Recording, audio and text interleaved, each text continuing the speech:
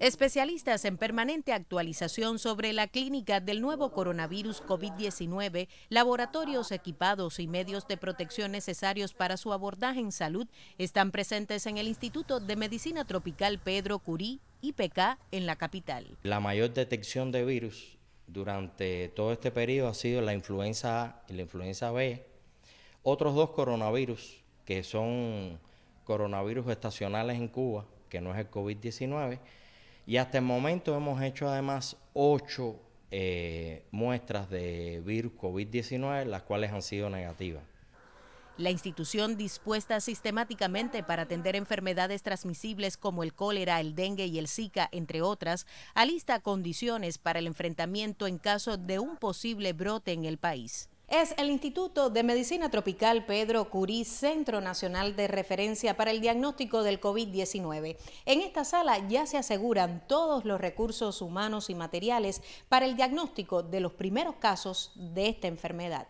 Ocho salas y 160 camas se han acondicionado para enfrentar una futura transmisión teniendo en cuenta embarazadas, niños y adultos mayores. Está preparado el laboratorio del Centro Provincial de Higiene, Epidemiología y Microbiología de Villa Clara y del Centro Provincial de Higiene, Epidemiología y Microbiología de Santiago de Cuba.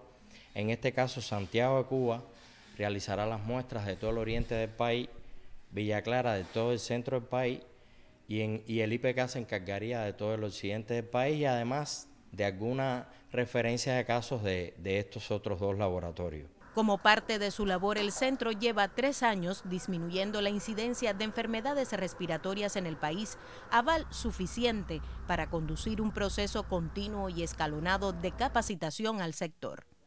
Pero la información debe transitar hasta cada hogar. ¿Cómo le llegamos a toda la población por diferentes vías para que la gente sepa identificar que yo, si tengo fiebre, tengo tos y tengo malestar general, un cuadro respiratorio evidente, tengo que ser supuestamente una persona presuntamente portadora del COVID. ¿Quién me lo va a decir si lo soy o no?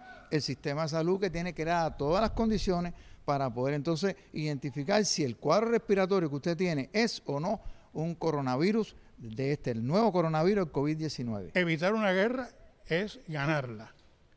Y aquí ganar la guerra del coronavirus es evitar el contagio. En Cuba todavía no tenemos ningún caso confirmado pero no vivimos de espaldas al mundo. Hay que pensar que probablemente lo tengamos, pero la población tiene que aprender que el contagio es de persona a persona, obligado. Cumplir con las medidas generales de prevención y acudir al médico ante cualquier síntoma sospechoso para ser atendido oportunamente son claves del comportamiento frente al COVID-19. Gisela García Rivero, Sistema Informativo de la Televisión Cubana.